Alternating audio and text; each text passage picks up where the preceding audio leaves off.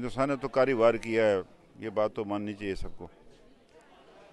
अब उसको रिवर्स किस तरह किया जा सकता है? बात, उसको रिवर्स के लिए मैं जो बात करना चाहता हूँ, उस एक्शन की बात नहीं कर रहा मैं।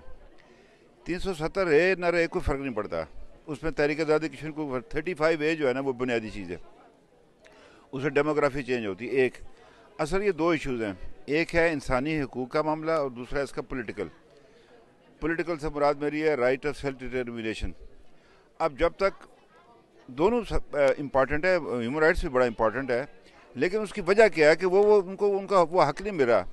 जो अकवाम ने उसके, उनके साथ वादा किया तो उस वजह से एक इशू पैदा होता है। तो अब बात यह है कि उसको हमने ये करना है, और उसमें मैं आप समझता हूँ कि वक्त आ गया है कि अब कश्मीरियों को अपना केस खुद बार रिप्रेजेंट करने का मौका मिलना चाहिए।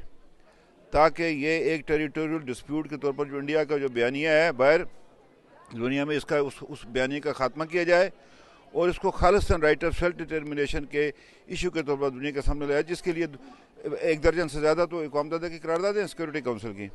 तो मैं समझता हूँ, एक में इसमें यह जदत लाने की ज़रूरत है। बाकी यह है कि हुकूमत पाकिस्तान हमारी पुष्ट पर है। हमारा हमदर्द है, हमारा वकील है वो, इसमें कोई शक ही नहीं है।